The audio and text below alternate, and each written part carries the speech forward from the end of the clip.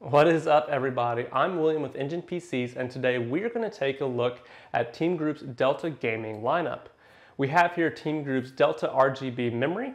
This is a 16 gigabyte 3000 megahertz DDR4 kit and we also have their Delta RGB SSD. This is the 5 volt addressable model. Now both of these products are available in black and both were provided to us by Team Group and they were the centerpieces to our NyanCat build. Now, we know the speed of the RAM is 3000 megahertz, and we've been at the peak of SATA 3 speeds for SSDs for quite some time, so I expect both these products to perform as intended. But I want to focus on something a little more fun, and it's a statement and question I hear all the time. Does RGB affect performance? Which is to say, does the heat generated by RGB produce a scenario where performance is hindered? Let's find out.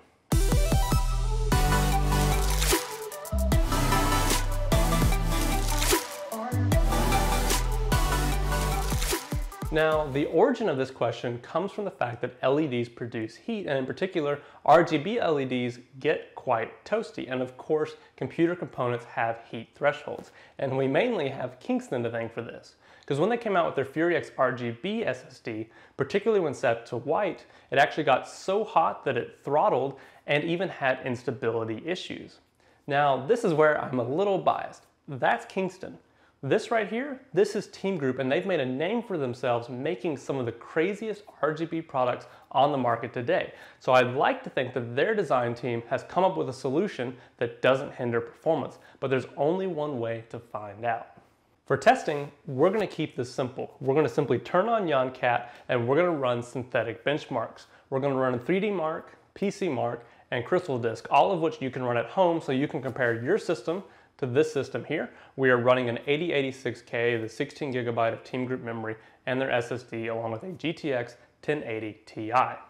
So what we're going to do is we're simply going to run all of these tests three times, get an average, and then what we'll do is we'll switch all the LEDs to white, which has the highest energy output and is going to produce the most heat. We'll leave it on for at least 24 hours, run the test three times again, and then compare to see if there is any difference. Our testing platform, of course, is NyanCat here, and I actually think he's the perfect worst case scenario for this test. In particular, the SSD is tucked up into this corner. There is no cool air blowing across it. In fact, it retains a lot of heat in that corner. And on top of that, there is no cool air blowing into NyanCat at all. The intake has a radiator attached, so actually only hot air is blowing up inside of him.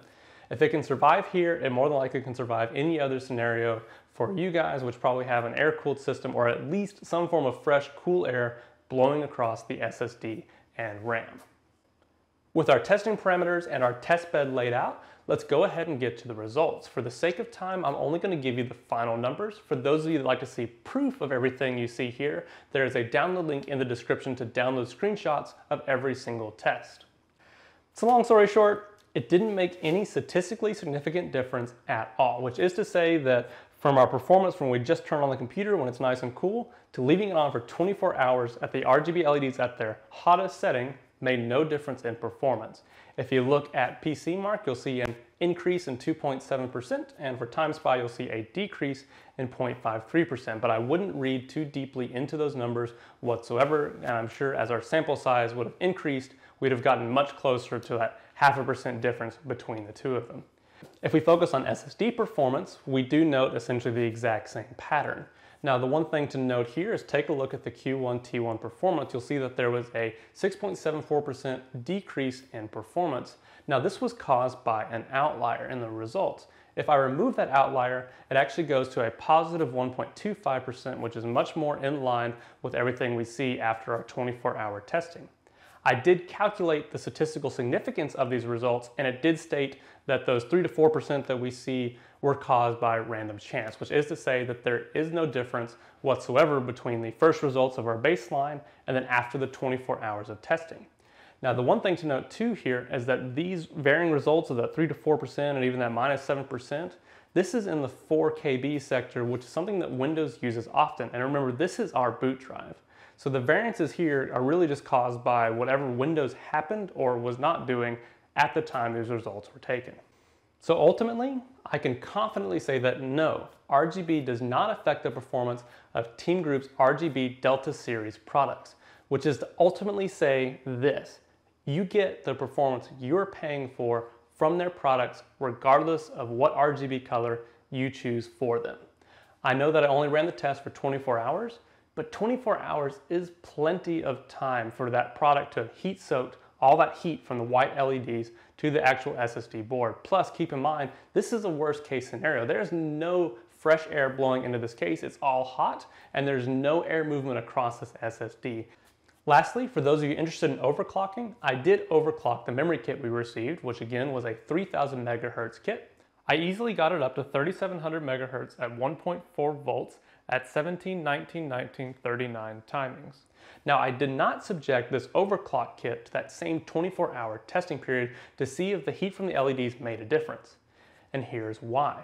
Ultimately, it doesn't matter. When you're playing the overclocking game, it's the silicone lottery that you are submitting to.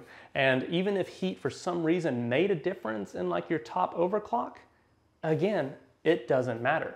You bought from Team Group a 3000 megahertz kit and that's what they sold you. That's what they have to guarantee. And it can run at 3000 megahertz without RGB being a problem at all whatsoever. And it does so with flying colors. Now that's it for our review today. Sponsorship aside, I wanted to leave you with our two cents. If you are tired like us of seeing the exact same Trident Z RGB memory over here or Corsair RGB memory over there, check out Team Group. In fact, we own two more kits that we bought outright. We own their Xcalibur kit and Nighthawk kit, and then of course we now have the sponsored Delta kit. That makes for our three kits, and that's almost more variants than you see online on many other builds. So if you really want your build to stand out, go ahead and check Team Group out. They got a bunch of great different designs and we're even going to continue using them for our workstation builds. They do offer ECC memory as well. On top of that, they're very interactive with the PC modding community and their marketing team has been extremely nice to us. So I wanted to thank them for making this video and NyanCat possible. Thank you for watching. Take care.